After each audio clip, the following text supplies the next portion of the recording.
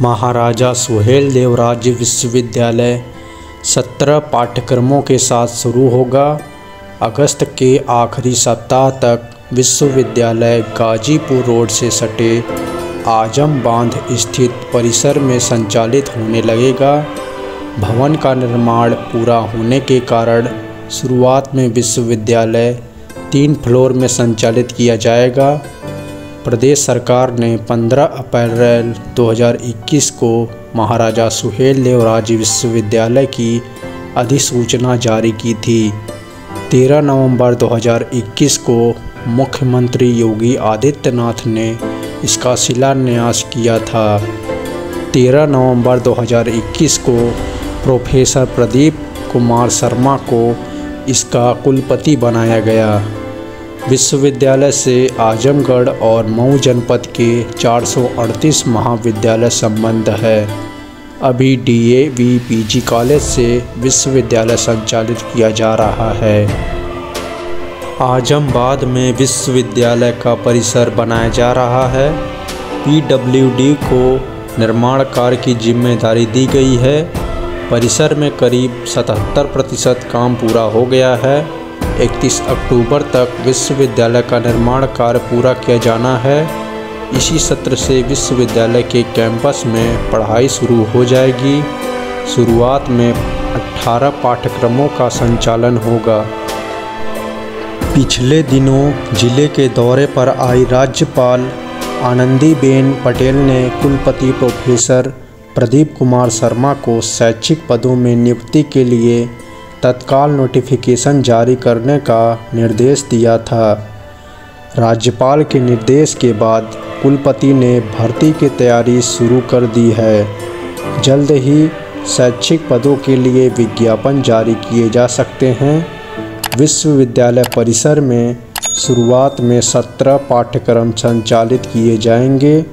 इनमें एमए अंग्रेज़ी, MA Hindi, MA Sanskrit MA अर्थशास्त्र एम ए भूगोल एम ए इतिहास एम ए राजनीति विज्ञान एम ए मनोविज्ञान एमए समाजशास्त्र। M Com L L M M S C computer science M A C integrative science M A C गणित B B A M J M C और M add शामिल है। सभी पाठ्यक्रमों में मेरिट के आधार पर प्रवेश लिए जाएँगे। शुरुआत में तीन ब्लॉक में विश्वविद्यालय का संचालन किया जाएगा। इनमें शैक्षिक भवन, प्रशासनिक भवन और सुविधा केंद्र शामिल है। सुविधा केंद्र में बैंक, पोस्ट ऑफ़िस के साथ कैंटीन की व्यवस्था होगी।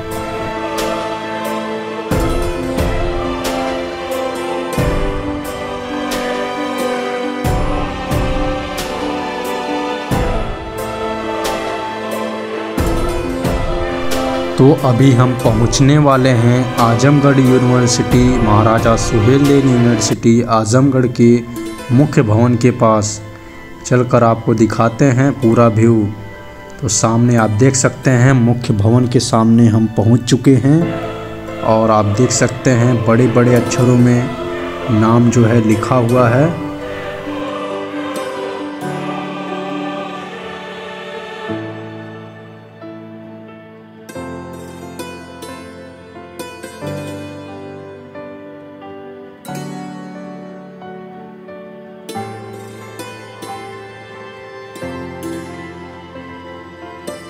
महाराजा सोहेल देव स्टेट यूनिवर्सिटी आजमगढ़ में कुल 21 फैकल्टी के साथ ही छात्र छात्राओं की बुनियादी सुविधाओं का भी ध्यान रखा गया है। इसमें फिटनेस के लिए, जिम, हेल्थ के लिए, हॉस्पिटल के साथ ही shopping mall, ATM, mini bank, post office के साथ ही स्टेडियम भी बनाया गया है। वहीं सुरक्षा की बात करें तो यूनिवर्सिटी के अंदर पुलिस चौकी भी बनकर तैयार है।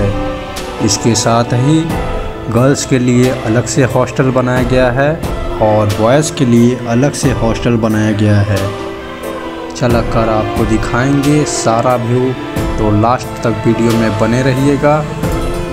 वीडियो आप लोगों को अच्छा लगे तो चैनल को लाइक, शेयर, सब्सक्राइब करिए। तो लेकर के चलते हैं, आपको एक एक व्यू दिखाते हैं। तो सामने आप देख सकते हैं, काफ़ी बड़ा बनाया गया है विश्वविद्यालय। और आप देख सकते हैं, ये जो है लाइब्रेरी है। और यहाँ पर जो बोर्ड बनाया गया है, बोर्ड का लोकेशन इसमें मेंशन किया गया है। इसके साथ ही आप देख सकते हैं, हर जगह पर पेड़ पौधे लगाए गए हैं। अब हम लेकर के चलते हैं पीछे की तरफ़, जिस साइड हॉस्टल बनाया गया है। चलकर आपको दिखाते हैं। तो सामने आप देख सकते हैं बॉयज़ हॉस्टल तो आप देख सकते हैं लगभग चार तल्ले का ये बनाया गया है हॉस्टल और इसके जस्ट इस साइड में आप देख सकते हैं, कुछ दूरी पर जो है गर्ल्स हॉस्टल बनाया गया है। सामने आप देख सकते हैं, इस साइड जो है गर्ल्स हॉस्टल भी बनाया गया है। जो कि ये तीन तल्ले का बनाया गया है। बाकी आप देख सकते हैं हर जगह पर काफ़ी स्पेस भी बनाया गया है। ग्राउंड आप देख सकते हैं, काफ़ी फैलाव है।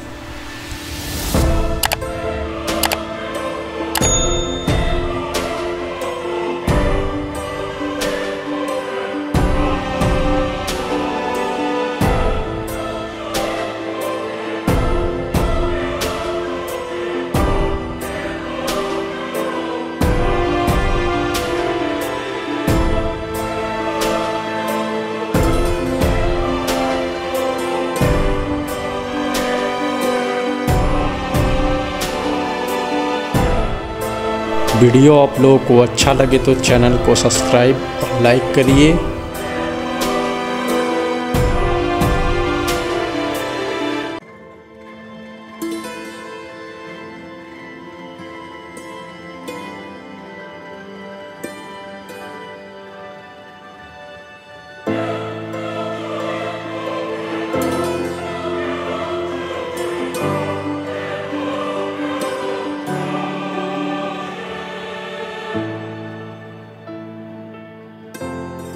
तो वीडियो आप लोगों को कैसा लगा, कमेंट बॉक्स में ज़रूर बताइए। और अभी तक हमारे चैनल को सब्सक्राइब नहीं किया है तो चैनल को सब्सक्राइब और लाइक करिए। हम आपके लिए ऐसे ही वीडियो लाते रहेंगे। तब तक मिलते हैं नेक्स्ट ब्लॉग में।